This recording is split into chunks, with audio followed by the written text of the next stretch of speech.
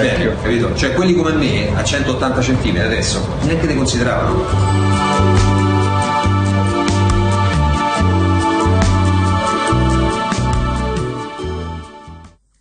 È stato portiere della Lazio, dell'Arezzo e del Parma tra le varie squadre. Ha allenato il Livorno in Serie A, è stato anche nell'Inter con Mancini. Oggi è un opinionista apprezzato. Dice di lui e scrive di lui Mihailovic, che sapete è stato l'allenatore del Torino, un grande giocatore, è facile usare parole al miele verso Kim Baghe che ha fatto raccolta di trionfi e trofei, non è il caso di Nando, almeno non da calciatore, leale, onesto, che non bara mai, che non volta le spalle e ci mette la faccia, la sua vittoria più bella, questi sono i veri successi di un uomo, allora Nando Orsi è un vincente, molto più di tanti protagonisti di calcio che possono vantare un curriculum più lungo e importante del suo. Nando Orsi è qui, lo ringraziamo, caspita che, che parole. Nando, Beh sì, no, devo, eh? dire che, devo, dire che, al di là delle menzioni che hanno fatto su questo libro, eh, non solo Mialovic ma anche Roberto Mancini, Simone Inzaghi, Domenico Neri e Vincenzo D'Amico, devo dire che le parole di Sisa mi hanno toccato in maniera particolare, mm, ma conoscendo il personaggio, conoscendo l'uomo, so benissimo che tutto quello che ha detto è, è di una sincerità infinita, cioè gli vengono veramente dal cuore, quindi l'ho apprezzato e infatti sul libro eh, sono la sua menzione praticamente all'inizio. Allora, a mani nude, poi insomma capiremo perché, perché ci racconterà, raccontando di calcio la sua vita, a mani nude è il titolo del libro che ha scritto Fernando Orsi, l'ha scritto insieme a un'altra persona particolare. Intanto presento anche Antonio Credi, Buonasera.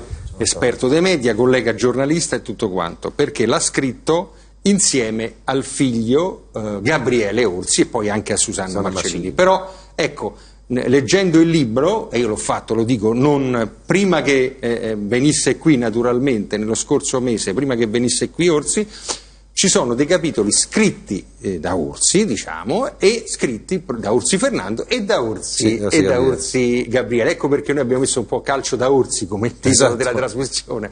Ecco perché questa scelta con il figlio Gabriele, tra l'altro non è la prima esperienza Sì, perché diciamo che è uno seconda. scrittore. ecco. Sì, c'è uno E scrittore, lo vediamo lui, qui. lui già, ha proprio, fatto- eh. già ha scritto, già ha scritto un altro libro, Ali di Piombo, perché, ehm, tanto per cominciare devo, devo premettere che questo è il libro della Ultrasport Certo, e bravo, quindi fatto eh, bene a dire. con me hanno scritto sia Gabriele Orsi che Susanna, Susanna Marcellini. Ehm, praticamente il miglior modo per mettere a nudo un portiere qual è? Togliergli, togliergli i guanti. Senza i guanti si sente poco protetto, perché lui tutta la vita mettendosi i guanti è un- metaforicamente una specie di protezione verso la squadra, verso la sua vita, verso la sua famiglia. E quindi il calcio in questo libro è soltanto una scusa per mettere in evidenza ciò che c'è dietro un giocatore. Cioè quando si chiude la porta di casa e si tolgono eh, i vestiti da calciatore, si mettono quelli da uomo, c'è una vita che secondo me è una vita che va letta questa, perché è una vita particolare, dà esempio anche a tante persone che pensano che la vita del giocatore sia soltanto una vita dorata. Invece non lo è. Non è che mi siano successe le cose drammatiche. Certo, la morte di mio padre è abbastanza giovane, quella di mia madre anche lei è molto giovane, eh, una separazione, un distacco da una figlia, che non è un distacco vero e proprio, però un rapporto un po' diverso, ehm, delle ricadute, delle, delle- delle- delle- risalite, eh, delle persone che mi hanno aiutato, quindi, ma soprattutto eh, capire cosa c'è dietro, cosa c'è, cosa c'è stato dietro un giocatore che per molti è stato ehm, famoso. Eh, però per me, che sono abbastanza autocritico su questa, su questa cosa, dico che eh, la mia vita più importante io l'ho vissuta da, da uomo e non da, e non da calciatore. Eh, quello che ho fatto nella mia vita da calciatore è stata una fortuna incredibile perché fare un mestiere così è, un- è- è- è praticamente il sogno di, di tutti, se non di quasi tutti. È un privilegio. È un privilegio. Ho avuto la fortuna, ma anche la bravura di poterlo fare a grandi livelli, però secondo me la vita mia vissuta vera è quella, è quella, come- è quella da uomo. Ed è raccontata da me e all'atere, è raccontata da mio figlio con i suoi occhi, eh, con quello che, che ha vissuto, col rapporto con questo padre, fra virgolette, famoso, il rapporto con il calcio, con tutte quante le sfaccettature che il calcio gli ha dato che al calcio ha dato alla sua vita. E quindi l'ha vista con occhi sicuramente differenti, però con occhi molto critici, ha raccontato tanti vizi miei e diciamo poche virtù. Quale ce, ce ne dice uno di vizio? Beh, no, io, a, a, me in casa mi chiamano per esempio Bofonchio. Bofonchio. Bofonchio dà proprio l'idea di proprio uno che... dice tutto, una figura ah, alla, cioè, alla, Disney. Bravo, cioè proprio una pila di fagioli, come si dice prima. È abbastanza polemico, permaloso, eh, quindi... Eh, però, però sempre molto leale, nel senso che la lealtà, la moralità, il rispetto per gli altri, per la gente, per la famiglia soprattutto, è fondamentale. Io quando giocavo alla Roma del quale non rinnega assolutamente di, di, esserci stato, anzi al contrario. Ha cominciato nella Roma. Cominciato nella Roma, io giocavo 10 anni. prima squadra. Sì, sì, sono arrivato fino alla prima squadra, io dal 69 al 79 ho giocato con la Roma. E, e, e tra l'altro mi ha, fatto, mi ha, fatto, crescere perché mi ha dato i fondamentali per fare questo mestiere, che è un mestiere molto, molto particolare, molto difficile. Eh, sia a livello mentale ma anche, soprattutto a livello mentale, perché poi la tecnica tu la puoi affinare, ci puoi lavorare, ma se tu la mente, con la mente non ci lavori è difficile pensare perché il portiere è un, è un, mestiere a parte, è, una vocazione. Adesso qui siamo in una, in una televisione eh, cattolica, però esagerando dico che è quasi come fare il prete, perché, perché non nascono più, cioè devi avere, de, ti deve venire dal, dal sol, dall'anima proprio per fare questo perché mestiere qua. più? È difficile, perché, è pieno di sacrifici. Perché è pieno di sacrifici. Perché se tu pensi che nella mia vita per, per, buttar, per fare due parate in una partita, quindi buttarmi in terra, e beh, minimo durante una settimana tu devi andare a terra minimo mille volte. E andare a terra non è che vado a terra, mi appoggio e vado a terra, no, vado a terra proprio da, da, da, dai 180 centimetri, mi butto, quindi tutti i microtraumi tutti gli allenamenti. Io quando dicevo ai miei compagni di squadra che io posso fare il vostro mestiere, ma voi non potete fare il mio, perché è un allenamento del tutto diverso. Perché arrivano fino a 40 anni allora i portieri? Come fanno? Eh beh, perché parte molto con la testa. Addirittura si diceva, e poi, che... e poi perché sicuramente ci sono meno traumi cioè il giocatore di calcio Beh, anche durante... i giocatori Totti è arrivato addirittura sì, ma, ma sono pochi però i portieri sono quelli che sono un po' più longevi Sicuramente il fatto che tu non hai traumi durante la partita o hai meno traumi durante eh la sì, partita il... ti avvantaggia questo, però più vai avanti con la carriera e più, e più, sicuramente ti devi allenare. Stavo dicendo che nella Roma, scusa, sì, e ti interrompo perché per me è fondamentale. No, no, è importante, più importante per chi ascolta e soprattutto per, per, i, per i ragazzi che ascoltano. Quando io arrivava a Natale, la Roma ti consegnava il pacco, il panettone ai ragazzi, tutti quanti ci radunavamo e più ci dava sempre, ogni anno ci dava un bigliettino con la foto della prima squadra con sopra una, la scritta importante, la famiglia, la scuola, lo sport. Ecco, io ho cercato di insegnare ai miei figli, ma anche alle persone che incontro, cioè per il modo mio di pensare, che questi sono i tre valori più importanti che la vita ti può dare.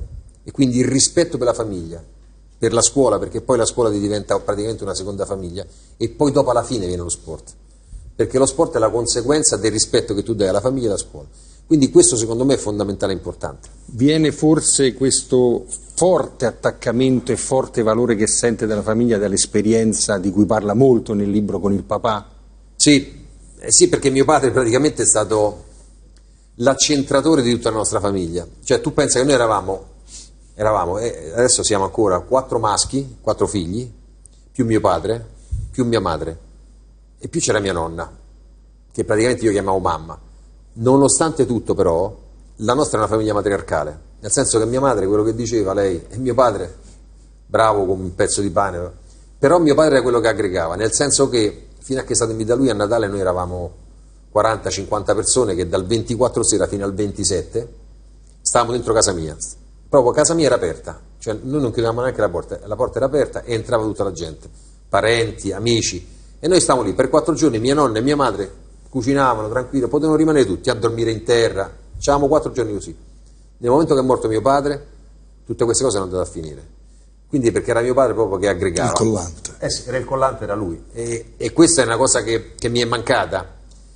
Però Devo dire che quando arriva Natale, con una certa emozione e commozione, a me piace sempre, perché mi ricorda di quelle cose e io ho cercato di tramandare ai miei figli proprio questa, queste tradizioni. Le tradizioni sono importanti, perché, perché le relazioni ti aiutano ad andare avanti, ti aiutano a capire con chi vivi, eh, le persone che hai intorno, la gente, il paese, la città e quindi secondo me sono fondamentali queste cose. Antonio, una curiosità. No, hai raccontato benissimo diciamo, la tipologia e quantomeno diciamo, anche la filosofia che c'è dietro la figura del portiere, tant'è che si dice sempre, no, quello è un ex calciatore, del portiere si dice un ex, Ex portiere, portiere, esatto. no? Questo è determinante perché identifica molto bene, però per esempio vissuta personalmente quando mi mettevano in porta da ragazzino per me era una sofferenza, so. mi mettevo quasi a piangere, ecco allora volevo chiederti, com'è nata questa figura tua del portiere? Perché sei diventato portiere? Perché all'epoca, insomma, un 80 No, ma, eri anche... ma ancora, ma ancora all'epoca dove giocavo io, 1,80 ancora si poteva, si poteva Eh. giocare. Tancredi,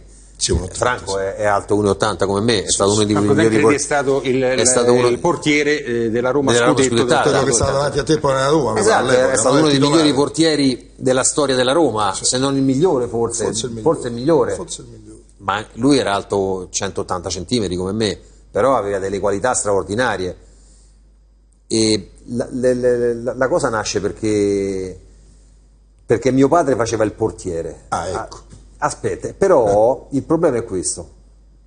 Noi andammo a vedere una partita della Roma e allora sul, sul tabellone dell'Olimpico, che prima c'erano i due tabelloni tutto scoperto, ci fu da una parte scritto la Roma indice una leva per i nati 57, 58 e 59 per presentarsi a Tre Fontane. A parte che dall'altra parte c'era pure la Lazio indice una leva per i 57, 58 e 59 per presentarsi a Tor di Quinto. Mio padre mi disse che era laziale, mi disse guarda Nando, che c'è la Lazio che fa, che, che- che Fa la leva a per di cosa. E io a mio padre dissi scusa papà, ma come la Lazio?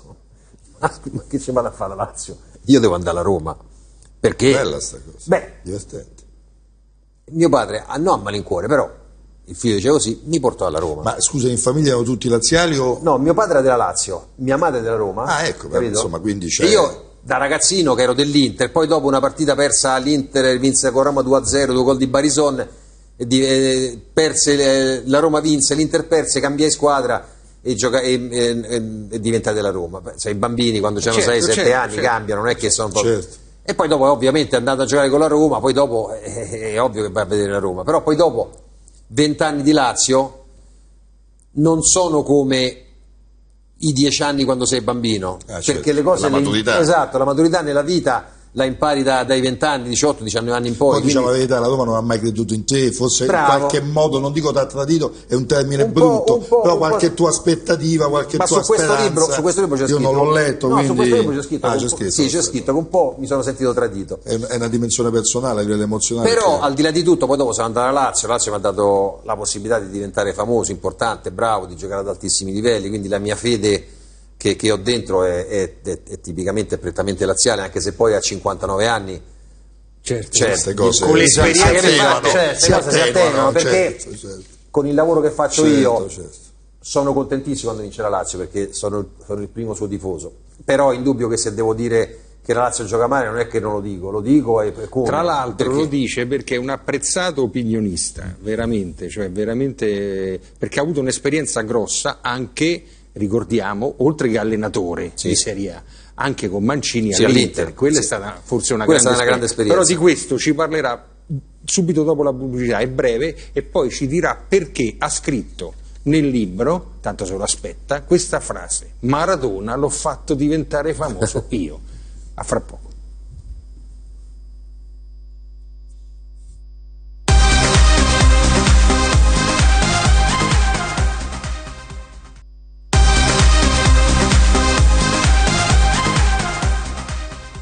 Bentornati in studio a Mani Nude, l'ultimo libro, il libro che racconta la vita e il calcio di Fernando Orsi, allenatore, eh, calciatore, apprezzatissimo opinionista. Prima eh, che adesso ci spiegherà perché Maradona l'ha fatto diventare famoso lui, come scrive nel libro, eh, per la rubrica L'aperitivo, ecco, vi vogliamo far vedere adesso questo eh, contributo dei nostri telespettatori. Si parlava prima di padre e figli. Allora, Giuliana ha 80 anni, Paolo 50, insieme sono andati a fare la maratona di New York.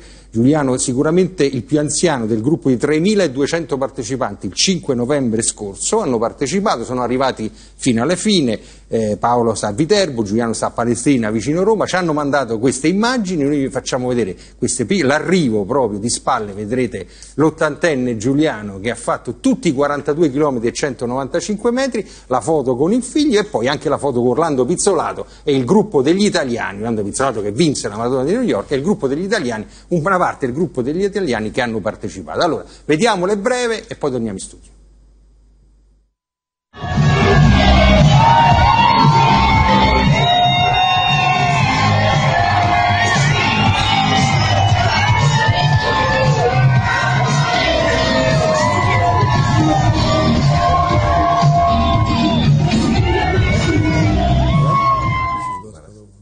Bene, grazie e complimenti ancora a Giuliano e Paolo, una, una bella Una bella storia, cosa, eh, sì, una bella, eh, una bella cosa veramente, tutta la maratona di York, tutti i valori. Allora, Maratona l'ho fatto diventare famoso io. Vabbè, questa è una battuta che io faccio. Eh?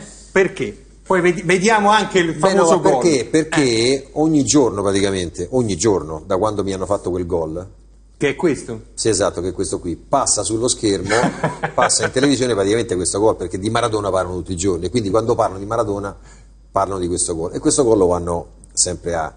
La pizzica. E quindi, e quindi io ho detto scusa, eh, ma secondo me se non avessi fatto questo gol non ci saresti mai andato così tante volte in televisione, perché tutti i giorni vai a, a fare questo gol. E quindi secondo me ti ho fatto diventare famoso Ma io. gliel'hai detto proprio? gliel'hai detto? No, non gliel'ho detto, però adesso siccome farò, forse faccio una presentazione a Napoli, Ah. che a Napoli ogni volta che praticamente fa il compleanno Maradona, che succede qualcosa a Maradona, mi chiamano perché, Eh, eh. perché Eh, certo. ricordano sta cosa.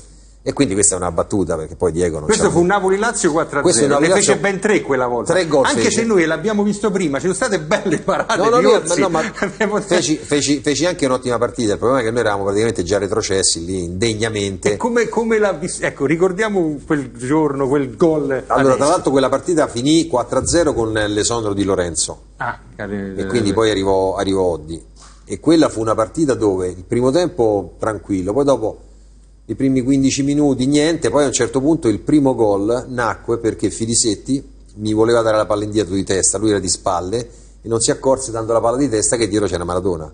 Stoppato questa palla, fece gol e da lì è cominciata sta rumba, veramente una rumba. Mi ha fatto gol in tutti i modi, su calcio d'angolo, ma Anche se lì è il difensore che fa l'errore. perché lì il difensore, eh, che era Vianello, voleva sto- stoppò questa palla di interno destro e lui era mancino, guarda, lui la stoppa di interno, vedi, e lui la sì, stoppa sì. male. Maradona stoppa che stava in pressione, Mamma l'aveva mia, però- capito, però ha, l'idea- calciato, ha calciato subito. Ma gli ha detto bene oppure. No, no, no, lui l'ha, Eh. l'ha proprio puntato. Tra l'altro, almeno smentiamo anche una cosa che, Eh. che dice sempre ha fatto gol da centrocampo, non è vero, No, no, andiamo a non è vedere, vero, no, ma ha fatto gol da due metri fuori dall'area. Sì, sì, infatti, questi lo testimoniamo. Eh, eh, eh, che esatto. cosa- piede, Esatto, lo testimoniamo esatto. piede. esatto. Mancini e l'Inter. Il rapporto con Roberto Allora, Mancini. un- il rapporto con Roberto Mancini è stato un, un rapporto, un bel rapporto sia professionale ma anche di, di amicizia, di famiglie, perché con Roberto siamo, ehm, al di là che adesso lui non ci sta più con la moglie, però quando stavamo qui, quando arrivò l'Unione Lazio, eh, io, Giuseppe De Mita, Marco Mezzaroma e Roberto Mancini formavamo un, un quartetto che praticamente stava sempre insieme più, più che altro per proteggere un, un ragazzo che veniva dalla Sandoria e che col fatto che c'era ancora Signori, che Beppe Signori all'epoca era praticamente l'ottavo re di Roma sì, sì, sì, sì. E venne un po' Eccoli messo, insieme, sì, eh, e venne un po' messo da parte per- con l'arrivo di Mancini perché lui non so se si sentiva un po' come seconda scelta. E quindi qui a Roma Mancini all'inizio non era ben voluto. Quindi aveva bisogno di qualcuno che un po' lo proteggesse da queste cose che gli parlasse un po' dell'ambiente. E da lì è nata questa amicizia che poi è proseguita, è proseguita col tempo, perché poi dopo lui è andato a fare l'allenatore della, della Fiorentina, noi ci sentiamo sempre, mi mandava dei giocatori perché qui alla Lazio avevamo Viganò che doveva, che doveva curare, che curava praticamente i giocatori e poi dopo quando tornò alla Lazio lui mi prese a fare Come il vice secondo. e facemmo anche due grandissime annate che gli costarono l'acquisizione delle... Ecco l'Inter. In pochi secondi. Che Beh, vuol l'Inter dire essere all'Inter? Beh, l'Inter è, è una soci- non per niente è affiliata con la La- è, è gemellata con la Lazio. Due società straordinarie con una grande storia. È ovvio che l'Inter è una storia eh, di, di vittorie, di trionfi, però è- è- ha delle similitudini un po' con la Lazio, un po' aristocratica, ehm, che ti dà delle soddisfazioni, dove annusi proprio il, il grande calcio che c'è stato per, per tantissimi anni e quindi un'esperienza straordinaria, bellissima. Ultima curiosità perché stiamo chiudendo, Antonio. Altrimenti... No, sapete cosa è accaduto a Livorno? È stata sempre. A Livorno- Perché quella è stata la tua grande La occasione. mia grande occasione è stata a Livorno. Il primo anno io sono andato lì e, e a 10 domeniche dalla fine al posto di Arrigoni e l'ho salvata. Esattamente. Quindi eri, Il- eri lanciatissimo. Ero lanciato, pensavo di avere il mondo in mano, il secondo anno mi ha smembrato la squadra Ah, ecco. perché Lucarelli Quindi andò via, Spinelli- Spinelli, Spinelli. preso dei giovani e al presidente prima, del, prima inizia il campionato gli dissi Presidente, ha smembrato la squadra, ci vuole tempo, non mi esoneri alla settima giornata. Lui è stato di parola perché mi ha esonerato alla sesta. Beh, insomma. Simpaticamente prima ci ha detto, quando- perché potremmo veramente, lui ha detto su questo libro ne potrebbe scrivere altri dieci per tutte Sì. le cose che non ha raccontato e Esatto. vissuto. Noi potremmo fare altre dieci puntate, sarebbe eh, meraviglioso proprio con, eh, con Fernando Orsi. Dice, ma io faccio l'opinionista, so, mi dedico, io lo dico io, che è bravo, dice, anche perché probabilmente non faccio più allenatore. Ah ma sì, è come, come ti ho detto, no? Eh. È come di- i single che dicono sono single, single per scelta, sì, per scelta degli altri, perché non ti scelgono. E così a me come allenatore, io sono diventato pionista e per gli altri perché non mi hanno più chiamato. Posso fare una domanda finale? Ma Eh, è siamo- Donnarumma proprio l'erede di Buffon? Qual è la tua opinione? Sì, e Donnarumma potrebbe essere, Si ma sta deve, gestendo deve male. Ah, scusa, mi hai dato una buona idea. Mi fai vedere? Allora, no, chi è il migliore secondo Orsi della Serie A? Portiere? Sì, adesso come rendimento. Secondo me Allison. Allora, se vediamo la classifica, questi giornalisti, i giornalisti, le 20 parti, così, i voti dei giornali dicono Stragoscia, Andanovic, Perin, Sirico e Allison sono voti dei quotidiani sportivi presi dalla prima giornata. C'hanno ragione, però. Se l'aspettava, se No, l'aspettava. no, me l'aspe- no, perché ho detto Allison perché è più esperto, però Stragoscia sta facendo un campionato È una cosa clamorosa. Comunque d'accordo allora Sì, con i sì, giornalisti. sì. Stiamo chiudendo, grazie a Antonio Creti. Grazie a voi. Grazie a Fernando Grazie a Orsi voi. tantissimo. Ci dice nel suo libro, scrive questo: Nella vita alcune volte diamo, altre volte riceviamo, dobbiamo essere pronti a capirlo e nel caso ringraziare. Mai prendere qualcosa senza restituire nulla. Grazie a Fernando Grazie a. Arrivederci.